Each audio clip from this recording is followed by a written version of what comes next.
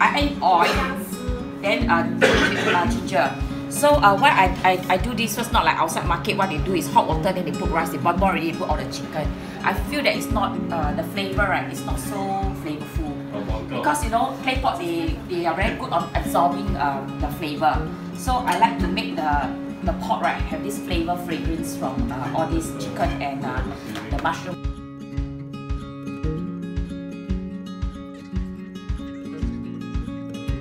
This is all about like loving each other and keeping time for each other. So when you fry right, you can you can you can smell already very nice smell. Don't be like last time olden days, Amma must cook until uh, golden brown, golden brown meat. Because once the flavor is out already, you can start adding your chicken. Okay. So I marinate the chicken with tiao jiu and uh, salt, light sauce, pepper.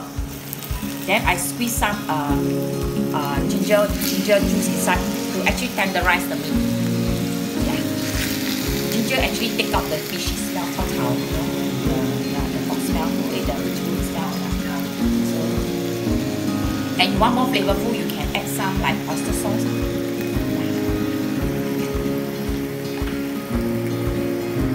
You're not eating? Yeah. Watch you first.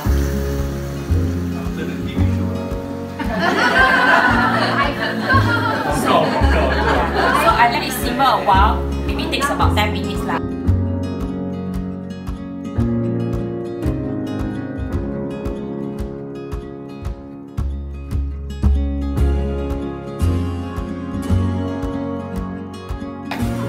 Okay, then you just boil the, the rice off. The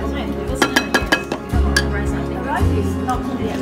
Not cooked. So I pour hot water inside the rice. Why hot water? So that the rice will be chiliak chiliak.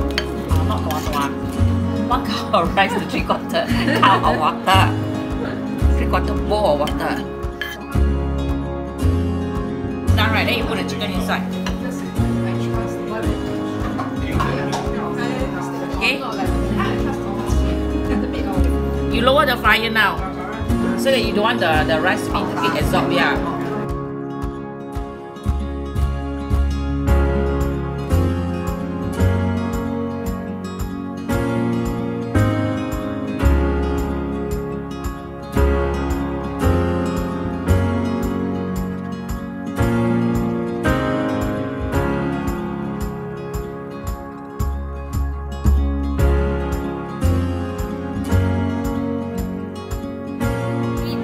but then you see the rice still a bit 不烫心 lah. They just put one spoon of water inside.